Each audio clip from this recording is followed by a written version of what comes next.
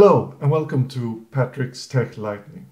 Last night I went to bed and I slept like a baby who hasn't been sleeping for at least 10 days. I slept so well because I knew that today would be the day that I would tell you about the Microsoft Enterprise Scale Landing Zone or ESLZ as they would like to call it. So without wasting another second, let's dig into it. Here we go. The Microsoft Enterprise Scale Landing Zone, or the ESLZ as the popular guys at the party would refer to it, is the baseline for architecturing in Azure. Before we dive into the deep waters and start fighting with the sharks, we will first define the general ideas. Our focus will be on these three concepts. The Microsoft Cloud Adoption Framework, CAF. The Microsoft CAF is a detailed guidance of practices, tools, and methodologies to implement businesses and technological strategies for enterprises moving to the Azure cloud. It guides you through the start of the journey with business drivers on how to successfully end up in Azure. Azure Landing Zone. You can think of an Azure Landing Zone as a bare bone infrastructure set up in order for you to put your workloads in the cloud.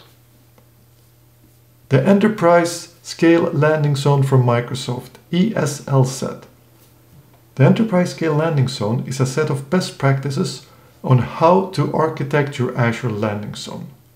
Since you are more than smart enough to architect a landing zone all by yourself, you may ask yourself, why is this so useful? Well, I say you're partly right, but you're missing the big picture.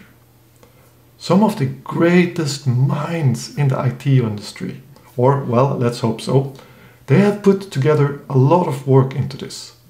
And just by following the guidelines set forth in this enterprise scale landing zone, you will have an amazing starting infrastructure in Azure.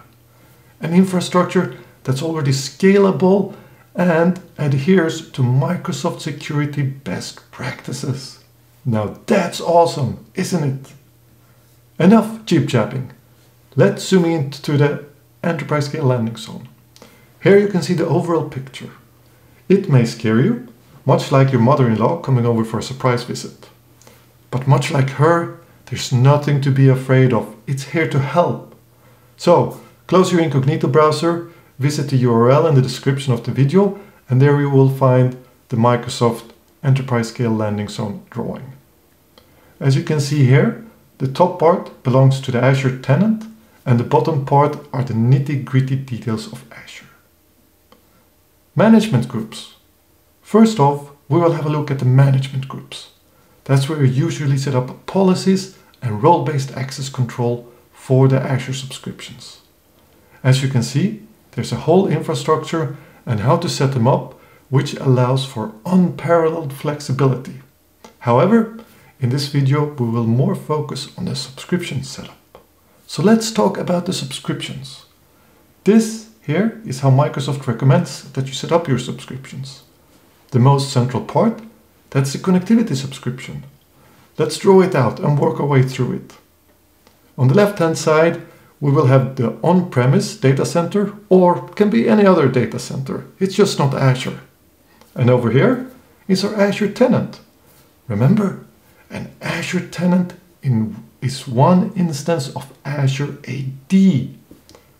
Inside this tenant, now that's where we place the connectivity subscription. This serves as a shared services hub. The ExpressRoute VPN terminates here. You can also put an Azure firewall here, along with a DNS solution. To this hub, you can then pair the VNets and the other subscriptions. You will then want a management subscription. That's where you, for example, have a central log analytics workspace and all your automation accounts are placed here. So logs from all other subscriptions will be stored and enter this central place. We can then add an identity subscription. That's where you would place any Windows Active Directory domain services servers. The actual infrastructure behind this setup is in what we call different spoke subscriptions. Let's say you want to deploy an application. You then create a separate subscription just for that one application and pair it to the connectivity hub. So that means that all the application and everything behind this connectivity hub can use all those shared services that you put in the connectivity hub. So, key takeaway here is Microsoft, they recommend one subscription for each application. Yes, this is not a joke. Large enterprise customers, they have no problems and have hundreds of different subscriptions. There's a fancy word for it.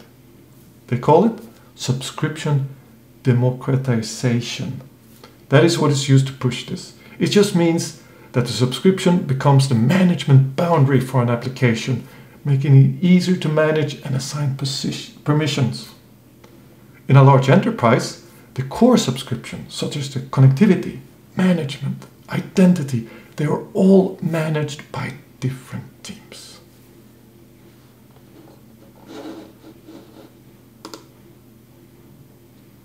That was a quick overview of the Microsoft Enterprise Scale Landing Zone. So if you find yourself at a party talking to this gorgeous woman or man, whatever you prefer, you can impress them with this knowledge because I'm very sure they've never heard of the Enterprise Scale Landing Zone by Microsoft. So use it to your advantage. As the name implies, the Enterprise Scale Landing Zone, it's very applicable to large enterprise customers. For smaller customers, you might want to consider this, as Microsoft calls it, best practices, meaning it's one set of practices that may be applicable to you, but there might be other possibilities and other ways that will be better if you're a smaller customer. Until next time, I wish you the best and see you. Bye.